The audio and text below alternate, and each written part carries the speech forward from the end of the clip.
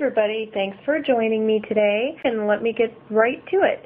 Um, what I have for my base color is two coats of this China Glaze in Secret Periwinkle.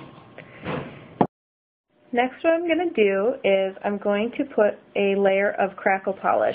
This one is cracked concrete from China Glaze and I'm just going to do a pretty pretty thin layer over them this. I'll show you another one more than just one here.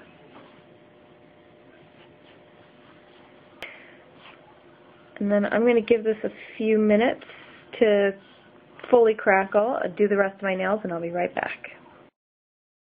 Okay, so here it is. It's all cracked, and you can see the contrast and all that now that the lighting's a little bit better. Okay, and now we'll move on to the next step. So the next thing that we're going to do is we are going to apply some foil. And this is where I found kind of a neat um, deal. I went shopping for Easter basket stuff um, the other day and I ran across an egg decorating kit that had foil in it. So I picked it up and I've tried it out and it's so cool. So this is what this is what the foil sheets look like. Like really, it's like about five inches by five inches square and it comes with all these different colors. And it works just like um, nail foils. So, but the glue that comes with it is terrible. So you're going to have to have either a nail foil glue or something else. Um, this is going to be the one that I'm using. This is Art Glitter. Um, it dries clear. It's an adhesive for applying glitter to like paper crafts and things like that. Um, I bought this actually at a stamping convention several years ago, but I did check out the website that they list right here on the bottle, and they do still have this glue available, and it works really, really well. And then there's also another glue from, I think it's Scrap Perfect or something called Best Glue Ever, which I believe also works amazing too. So anyway, I'm going to apply just a little bit of this to my nails using a regular, like, just little art detail type brush. And what's nice is this, this glue goes on kind of white at first, so you can kind of see where you're putting it and then it'll dry clear. So what we're going to do is just very, I'm just going to take a really, really small amount of glue, which you can barely see here, and I'm just going to apply it sort of into a semi-angled, but I don't want it to be a solid layer. I'm kind of putting it on so you can see little strips of it. Um, and that's where I'm going to be putting the foil. And I'm kind of doing it on where the crackle polish is.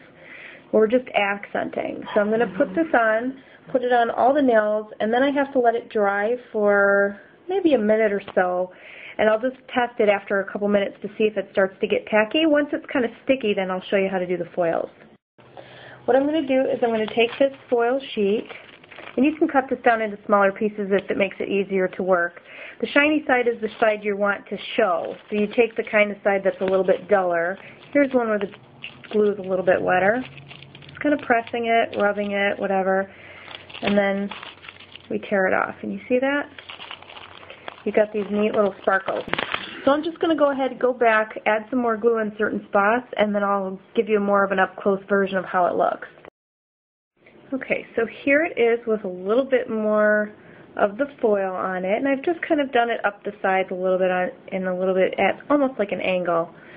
But see how some of the foil, it actually follows the pattern of the crackle polish, so it's kind of neat, so it's just sort of accented with some shimmer. And I'm angling them down so it goes dark so you can kind of see, but it is quite, quite reflective. So anyway, so then once you've got that, then you can go ahead and just put a layer of top coat over it and then you'll be all set. Hold on, let me refocus here. Okay, so here are my nails with the foil on them. The key is here to um, wait. Don't wait until the dry, the glue is completely gone clear. Wait until it's dry enough so that it's not smushing, but it's still somewhat wet. Then when you press this foil on, it'll just come off all in, this was all done each with one try, so it works out really good. And then you can see here, see how it's gone clear? That's what's happened, it's just torn the foil away from here. And then you can just keep using it until there's nothing left on here, so you can really get a lot of use out of this. And I'm going to include a still picture of the the little Easter egg coloring kit that I got it from because it was like less than two bucks. I got it at Walmart. So, um, and it comes with silver, gold, blue, purple, pink, and green foil. So there's like 10 sheets, so it works out really good.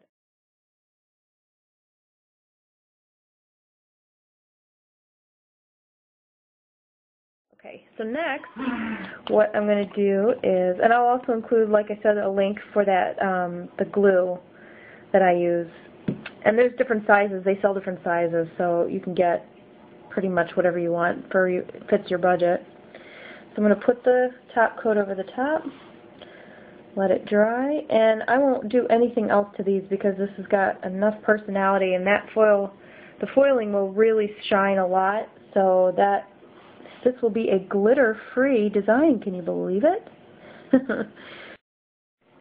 Okay, one last thing I wanted to tell you guys too is that be sure when you're not using the glue you keep this really tightly sealed and the best way to keep this in good condition is to then put it into a Ziploc bag or something to keep it airtight when you're not using it so that it doesn't dry out. And this is probably the middle size bottle. This was about six 50, I believe. Um, they do make a smaller one in like little sample sizes. And then your brush, if you're going to use some sort of paintbrush that you want to use again, be sure to wash this off while it's still flexible. Warm water and soap is fine, but you need to get all the glue out of it, otherwise you'll end up ruining your brush. So that's just another thing that you need to know about that. But that is all. Thanks again for watching. I'll see you next time. Bye-bye.